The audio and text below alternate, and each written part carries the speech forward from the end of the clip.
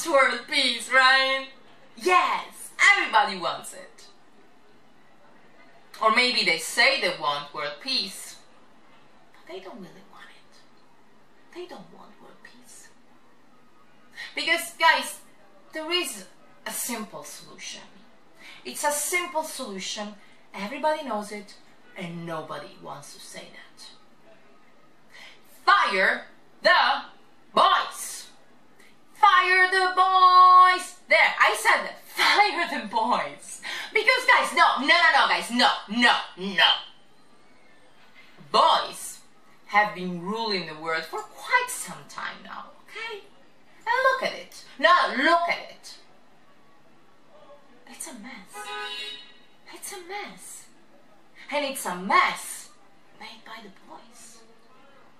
And honestly, I don't even know why we're that surprised about it. Because, okay, let's get into any single boy's house or apartment. Or, oh, yeah, a dorm room. Are they tidy? Are the pants crisply folded and the shirts carefully hung and the socks all nicely paired? Are they? I mean, some are. Okay, yeah, some are. That's true. Some. Some. But the majority of it, let's be realistic. The majority of it, it's a forgotten wasteland of dirty laundry and empty beer cans and old pizza boxes. But what really shocks me is what kind of idiot So that and thought, hmm, interesting. That's good. That's good.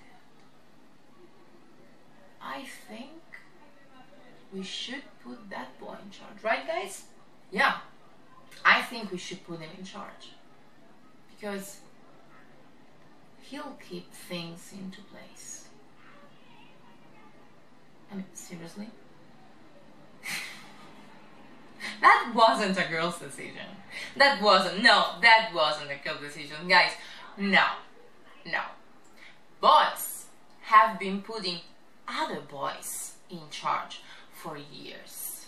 And we girls, yeah, we got some intermediate management positions. And yeah, a couple of leadership roles here and there because, hey, the world is changing! Yay! Yay! Yeah! But let's be realistic. The majority of it is still ruled by the boys. And if they knew what's best for them, they will step down right away and let the girls take over. And I know, I know, I know what you're thinking. I know. You're thinking, what makes you think you know better? Well, my answer is wild baboons. Wild baboons, guys. Wild baboons proved that girls can do better. And I'll explain to you. Listen, let me let me explain to you. So there is um, a wild troop in Africa, okay? And by the way, you can Google it, so go ahead.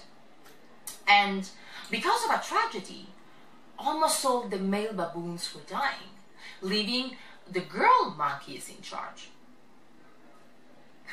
Guys, the results were amazeballs. The male baboons stopped fighting amongst themselves and they started being more sociable. Guys, they even started grooming each other, okay? Like, less mean, more clean. and that was good for them because the male monkey boy that used to be so stressed out about the constant competition uh, among the male monkey world around him. He just had to look up at this new girl pattern world and go back at grooming each other. And in no other wild troop does the male groom the other one. But these secure monkey boys, they can do that. And they can because their girls taught them to. And, and when new uh, male um, baboons come into the troop, they teach them the grooming thing.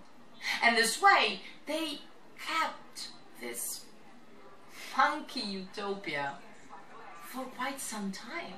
And they pass it on from generation to generation. And, and listen to this. Actually, that led to healthier monkey boys. Because that's, that's wild. So, the scientist who studies them, Dr. Sapolsky, he found out that the male baboons of this troop don't suffer of any of the issues that other monkeys have. Because the average monkey, of course, especially those, you know, of lower classes that gets picked on all the time, they suffer of the same, the same stress related issues that we do, like high blood pressure or obesity or um, partial brain impairment function or something like that that is stress related, okay? But doctors talk of monkeys have none of it. They thrive like no other. So boys, if you know what's best for you, just step down and let the girls take over. It will be better for you. And it will certainly be better for the world. Peace on.